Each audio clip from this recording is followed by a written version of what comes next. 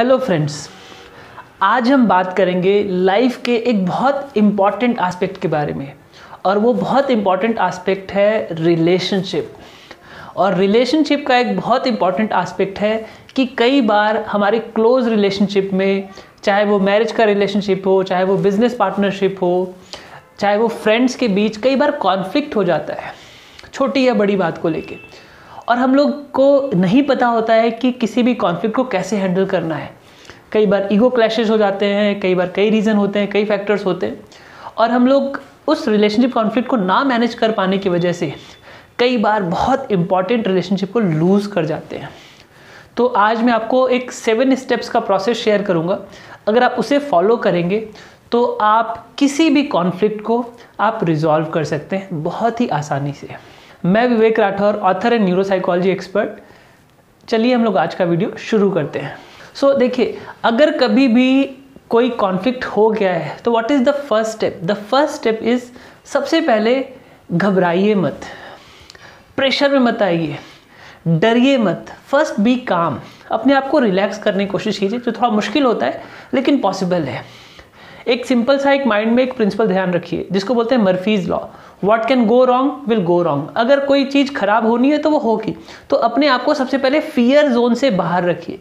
First be calm first calm your अब हम बात करेंगे स्टेप नंबर टू की, जो कि कहता है कि try to find others point of view and personality हमें अपने से ज़्यादा किसी भी कॉन्फ्लिक्ट में हमें यह समझने की ज़रूरत होती है कि सामने वाले का पॉइंट ऑफ़ व्यू क्या है। और उसकी पर्सनैलिटी कैसी है? ये बातें आपको काफ़ी इन्फॉर्मेशन दे देगी उस सिचुएशन को या उस कॉन्फ्लिक्ट को हैंडल करने में। स्टेप नंबर थ्री जो भी आपके वैलिड पॉइंट्स हैं कन्वर्सेशन में कम्युनिकेशन में, उसको स्ट्रेट प्रेजेंट करने की या कन्वे करने की कोशिश कीजिए कि आपको क्या लगा, आप क्या सोचते हो, आपका क्या परसेप्शन है, आपके पास क्या इन्फॉर्मेशन आई, उसको आप स्ट्रेटली कन्वे कीजिए। स्टेप नंबर फोर हमें एक बात का ध्यान रखना है।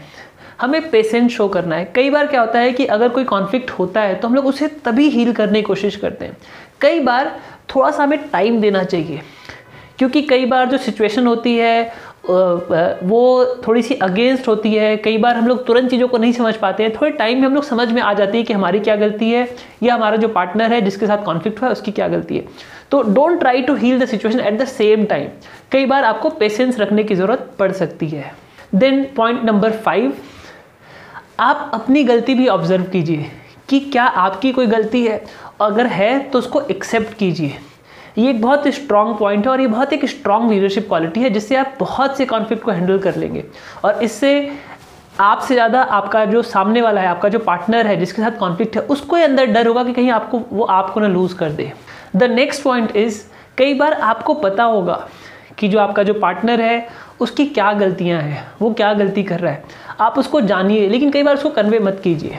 क्योंकि उसको जैसे ही आप कन्वे करोगे, हो सकता है चीज़ें बिगड़ जाएँ, खराब हो जाएँ। तो आप उसको समझिए, उसको आप बाद में सही टाइम पे कन्वे कर सकते हैं। कई बार कॉन्फ्लिक्ट हैंडल करते समय उन पॉइंट्स को आप होल्ड कर सकते हैं।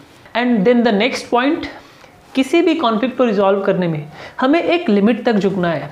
एक लिमिट से ज़्यादा हमें नहीं झुकना है। क्योंकि देखिए, हमारा जो सेल्फ रेस्पेक्ट है, उसका हमें ध्यान रखना है। क्योंकि अगर आप किसी भी कॉन्फ्लिक्ट को हैंडल करने के लिए आप अपने बेस्ट एफर्ट्स दे रहे हो तो आपके पार्टनर या जो भी जिसके साथ भी कॉन्फ्लिक्ट है फ्रेंड पार्टनर बिज़नेस पार्टनर कोई भी हो सकता है, वो उनकी भी रिस्पॉन्सिबिलिटी है। ये केवल आपकी रिस्पॉन्सिबिलिटी नहीं है। कोई भी रिलेशनशिप एक पर्सन के चलाने से नहीं चलता है। उसमें दोनों पर्सन का रोल है।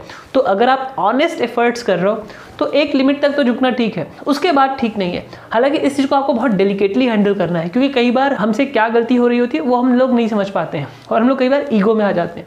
सो इस बात का ध्यान रखना है। और एक लास्ट पॉइंट जो सबसे इंपॉर्टेंट है ये हर जगह काम करता है रिलेशनशिप में भी काम करता है। Give your best leave the rest आप अपना बेस्ट दीजिए बाकी आप छोड़ दीजिए। अपने आप चीज़ें सेटल डाउन हो जाएँगी।